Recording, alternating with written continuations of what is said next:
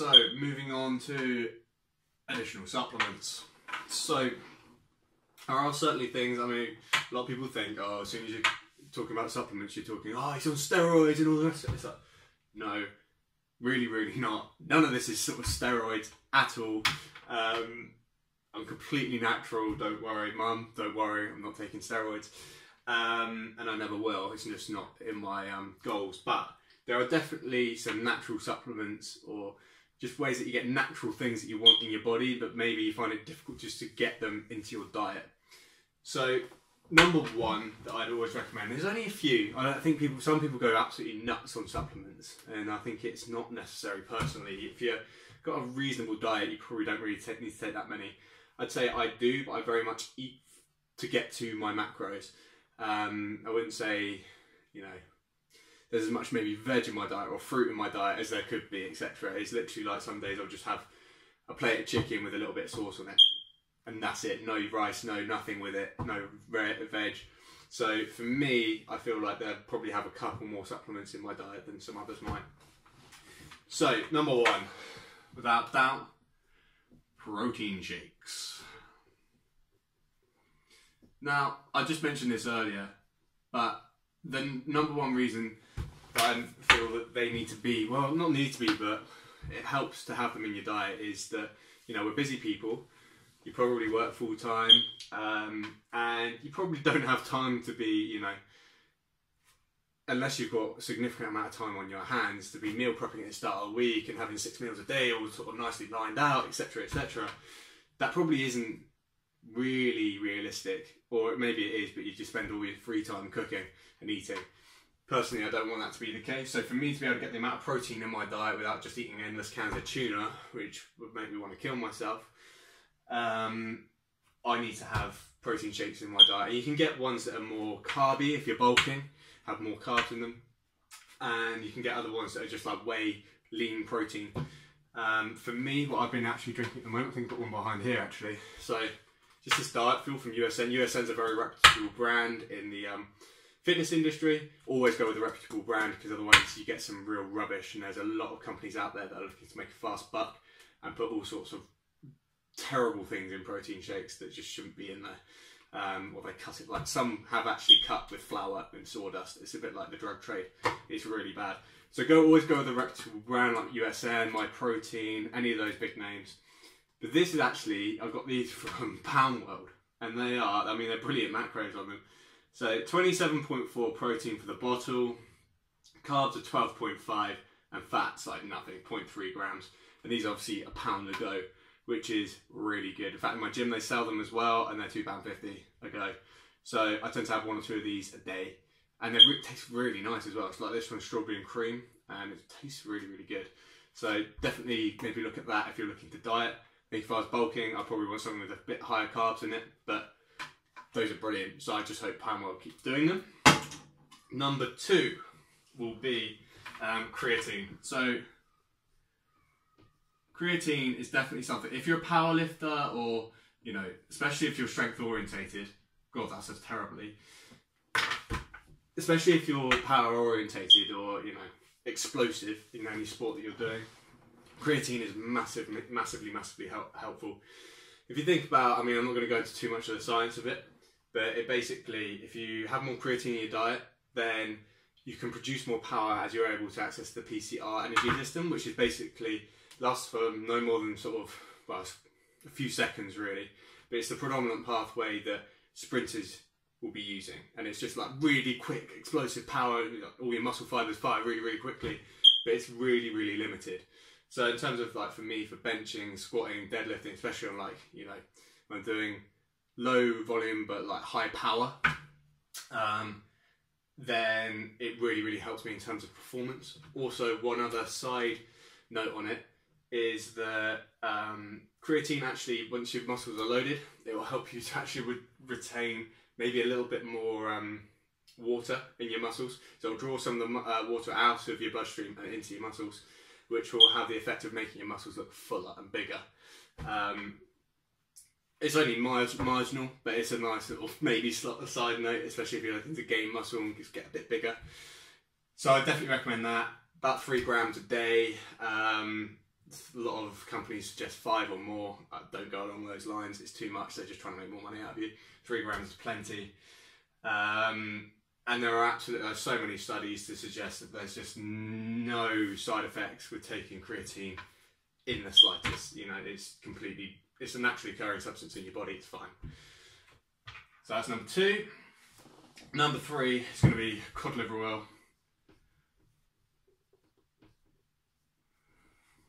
My writing is getting progressively worse.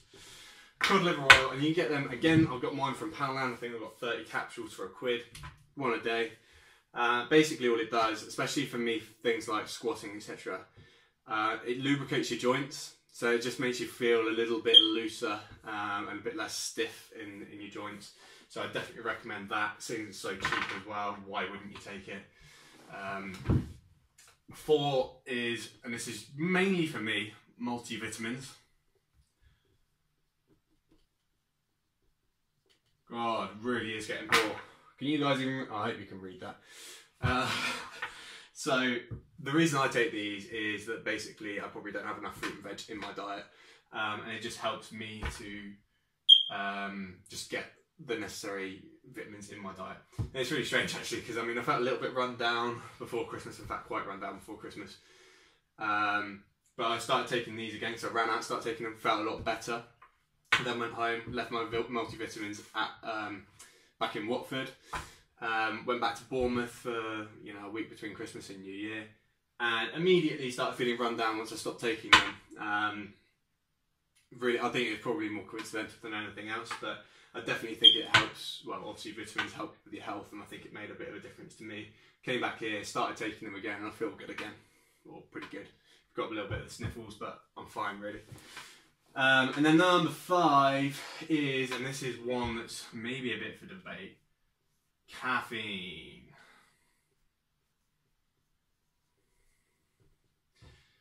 I'll say maybe a bit for debate. I mean, I think there's a limit to how much caffeine you should be taking in each day. I mean, in the past, uh, at my, not this job I'm at now, but one I had in the past, I was probably having about five or six coffees a day um, well, actually, probably even before lunchtime. And they got to a point where I started having palpitations and really started feeling not very good. Um, the problem was basically my body got so used to the amount of caffeine I was taking in, I was having to take in more and more and more, and my tolerance so high um, to be able to get that effect of feeling awake, which is the main reason I was taking it. Um, so what I had to do was basically kind of cut out all the caffeine for pretty much a couple of months. I basically didn't drink any coffee or have any energy drinks or anything like that and I drank shed loads of water. And it's amazing the power of water. I mean, I think it's, you know, obviously everyone drinks it and we all feel thirsty, but if you try and drink, and there's a lot of YouTube videos out there about, you know, the benefits of drinking a gallon of water a day, um, which is like four or five litres or something. Um, might be even more than that, I'm not sure. But there are a lot of benefits from drinking plenty of water, and that for me, you know, when I feel like my caffeine is going up too high, then I start to drink more water. As you know, the effects of that can it makes you feel more awake. Your body's you know hydrated. It, it, it clears up your skin. Um, you know, there's just so many benefits. You might need to go to the toilet a little bit more, but there's so many benefits to drinking plenty of water. Um, that in terms of it keeping you awake, you probably don't need caffeine so much if you get into a routine of drinking plenty of water. The reason I advocate caffeine more than anything, though, is to kind of put you, make that, especially going into a workout or something, give you that focus that you want in the gym.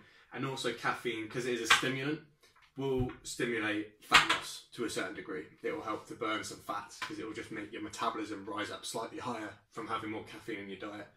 So I recommend you maybe having a couple of cups of coffee in your day, um, or an energy drink or two, or maybe not two, maybe at the most one a day, um, and just keep it at a you know a sensible level of caffeine in your diet. Um, and then obviously your tolerance won't go so high that you know it's detrimental to your health.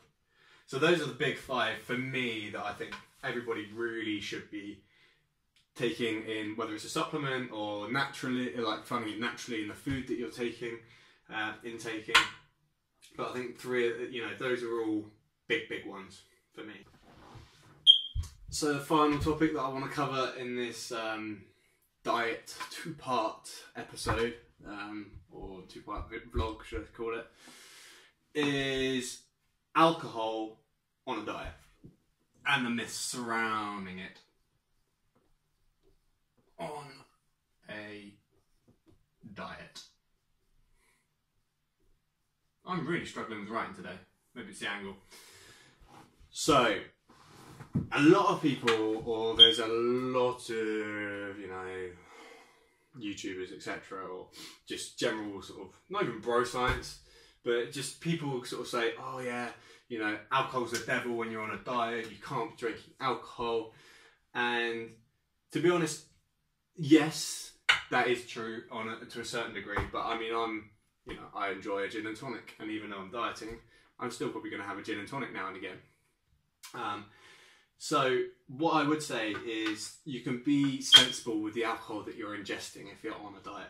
So the big problems are, and I've just got a, a website open here. It's actually an, an, article from the Telegraph about calories in different um, in different types of alcohol. Is that obviously it's kind of empty calories. There are no protein, fats, or carbs in there, but there are calories in them.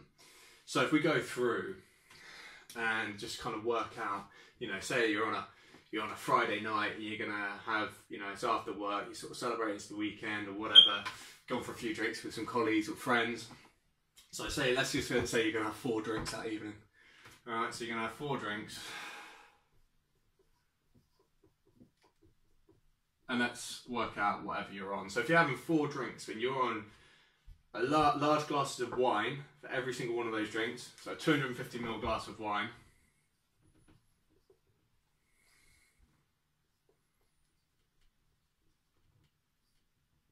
wine, and the number of calories in that will be 228. And now this will obviously fluctuate depending on whether it's red or white or Merlot, Cabernet, Sauvignon. I'm sure they're all slightly different, but ballpark is 228 calories. So if you're going to have four of those, it's coming up for, let's round it and call it, well, let's call it 900 calories. So that would mean for me, if I'm cutting, I would only have 1500 calories to play with in terms of getting on board as much of this as possible, my, my proteins, fats and carbs. Now for me, if I'm drinking, protein never ever gets sacrificed, ever. So I would still be having my um, so I'm on a cut. My protein is going to be 211 grams of protein, as we've already talked about. 844 cals protein, which means I then only have, so 844, actually I haven't got this in front of me so I'm to do it in my head, 666 cals left to get on board my fats and carbs for me, obviously, fat is still important in the diet. I want to get make sure I'm still getting on at least the 450 grams of fat. Um, no, sorry, 450 grams of fat. Jeez, that seems a bit high, doesn't it? Four, yeah, so 450 calories of fat, which is still 50 grams of fat a day. So that put me in a nice healthy range. It's still on the low side, but it still puts me in a nice healthy range. So I'm going to say 450 cals fat. Alright, and that then leaves me, if I take that off from the 666, that then leaves me 216 calories of carbs for the day, which divided by 4 is 54, I believe. So 54 grams of carb.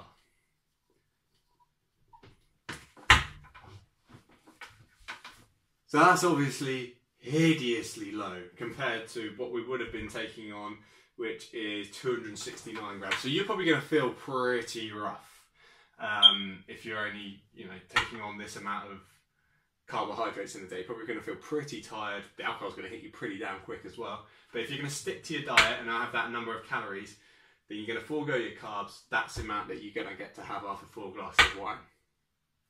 So that's the problem with what with alcohol really. Um, if we look at beer, um, so you're going to have four pints of beer. The beer inside is 180 calories. Um, so again, if you're to have four pints, say it's up around about 750 um, calories for you know the four pints. So not quite as much as the wine is going to be, the four large glasses of wine. Um, but it's still blooming high, and you maybe have around about 70 to 80 grams of, of um, carbs for the day, so you're still going to feel pretty rough. Now, if we look at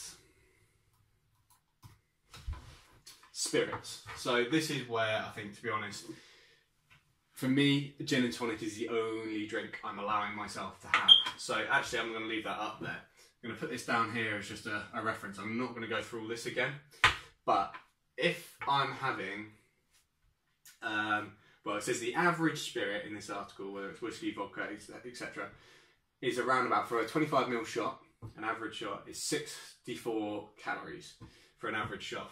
So that is almost a quarter of what a glass of wine would be. So for me, if I had gin, actually gin slightly lower, it's around about 50 calories um, for a shot. So if I had four single gins and slimline tonic, so obviously no calories in the slimline tonic, um, that will be 200 calories, um, which would still leave me 2,200 um, calories even on my cut. So even though I've gone out and I've enjoyed myself, I've had four drinks with some uh, some of the lads or whatever, then I'm still to have 2,200 calories, and it basically then means I'm going to be cutting out 50 grams of carbohydrates, so 200 calories divided by 4, 50 grams of carbohydrates, which will basically then leave me at having 219 grams of carbs, which shouldn't make me feel as bad. So, spirits. If you're gonna drink to excess, anyway, if you're gonna have just one glass of wine or whatever, yeah, you can do that. But you know, you're still you're still going to be eating into your calories, and it's it's not ideal. I would always advocate if you're dieting, spirits are the answer, basically, uh, and just being sensible with that. And if you can, having Diet Coke or Coke Zero, or like vodka, Coke Zero, or gin and slimline tonic, or you know, just maybe just enjoy a nice whiskey on its own and um, with a bit of ice. Stick to spirits, and you can definitely continue to drink whilst you're dieting. That being said, in terms of the number of calories, which we've just talked about, um, obviously that's one detriment to drinking. Obviously, it eats into calories for the day. However, there are a couple of others. So, one, empty calories, empty calories. Two is um, so the body will use it as an energy source. So I think, I was doing my research on this, I can't remember now. Your body tends to take straight into the bloodstream around about 20% of the alcohol that you've drunk. The rest of it just kind of goes into your system, so it'll kind of hit your brain, etc. The rest of it will just go into your system and be used as an energy source, as the first energy source. So instead of metabolizing the fats, your body will start to use the alcohol as a source of energy where it can, and was trying to convert it into glycogen. It will just try and utilize um, the alcohol as a first port of call for energy. Um, so you're just not going to be burning, you know, the fats that you want to, basically. So that's number two. So that's one slight side effect. Number three, it lowers testosterone.